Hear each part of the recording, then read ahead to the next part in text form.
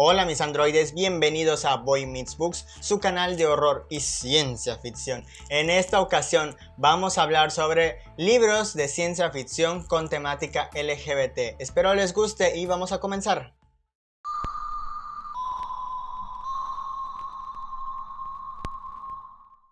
Vamos a comenzar mencionando que este no es un top, no es del mejor al peor, Así que este no tiene orden, no tiene nada que ver con que cuál es mejor, si me gustó o no. Aquí son solamente mencionándoles los que tienen temática LGBT.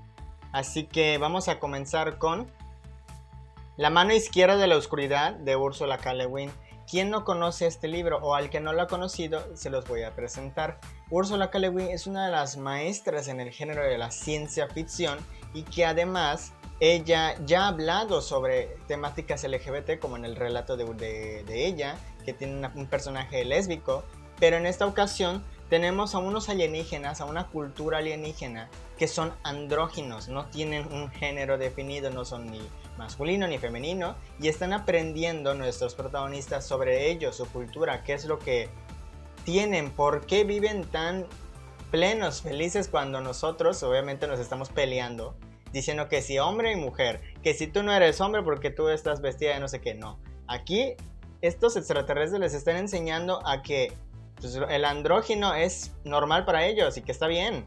Los chicos salvajes de William Burroughs o algo así.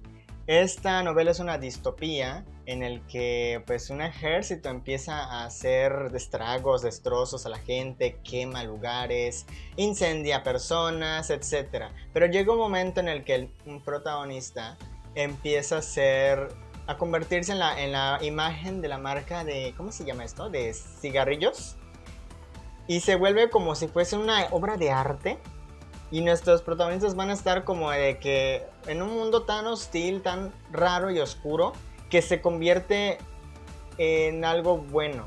Esta temática creo que es gay, creo que son personajes gay. Entonces, si quieren leer algo de ciencia ficción, una distopía gay, que también está The Handmaid's Tale o El cuento de la criada, que no tiene tanta referencia a la, a la comunidad LGBT, pero sí hay algún que otro personaje, y más que en la serie se ve. Entonces, pues chequense Los Chicos Salvajes de William Burroughs. Eh, continuamos con Samuel Delany en Dahlgren. Eh, pues esta novela es muy, muy extraña en realidad. Casi, casi no la entendí. Pero se supone que, eh, que hay una ciudad que está separada de, de Estados Unidos que fue devastada por una catástrofe horrible y que nuestros protagonistas están como en una encrucijada, no tiene tampoco...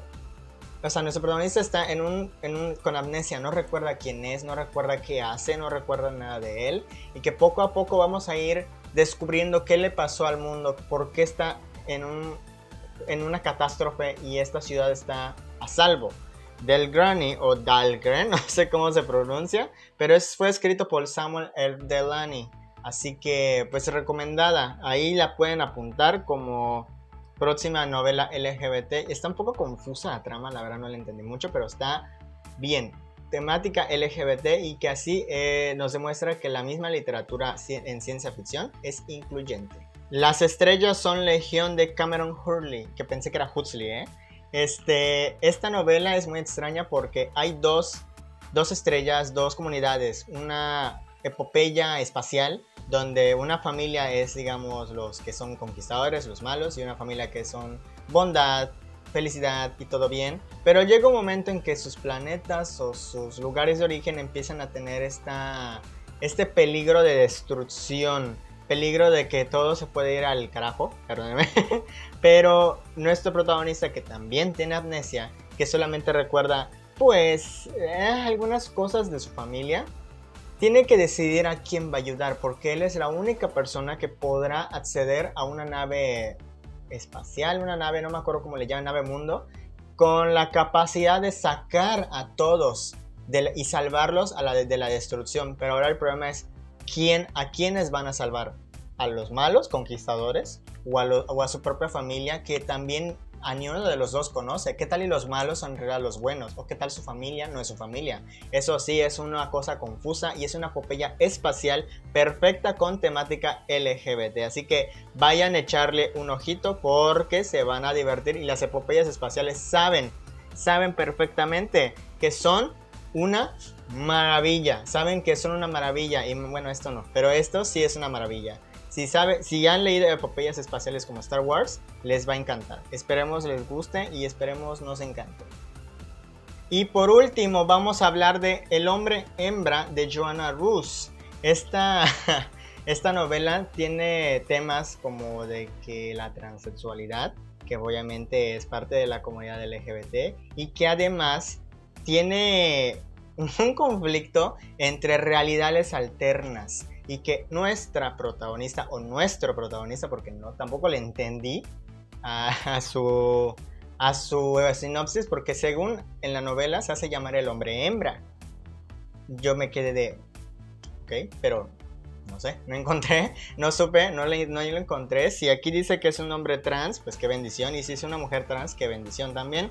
Pero en esta novela vamos a ver muchas realidades alternas donde habrá versiones de esta Joana, habrá versiones de sus amigos, habrá diferentes versiones en cuanto a nuestro género o por qué somos diferentes, etcétera, etcétera. Es una historia y también muy confusa, pero que es garantía de ser ciencia ficción y que les va a gustar mucho y esperemos les interese. Así que si quieren saber más, vayan a conseguir El hombre hembra de Joanna.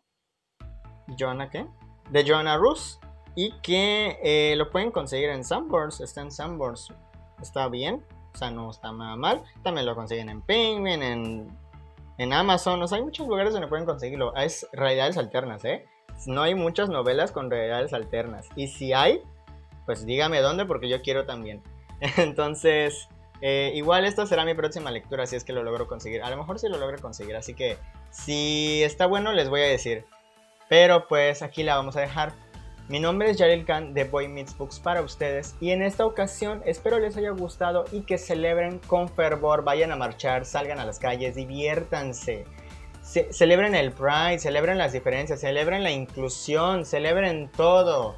Todos somos iguales y que el amor es el amor y ya, no hay nada más. Así que cuídense mucho, les mando un abracito y esta es una playera regalada por un amigo. Bye bye.